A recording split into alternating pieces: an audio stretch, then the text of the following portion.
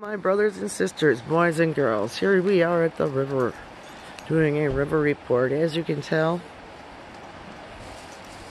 the water, if you gauge it from the last time, is getting higher, but the main melt hasn't quite kicked in. Earlier today, some locals came by over here to the fishing hole and caught two big shiny trout in a matter of uh, three minutes. No exaggeration. And over here, on the happy little cliff, we have Hallelujah Praise Report. The marmots are awake. They've been throwing rocks down all day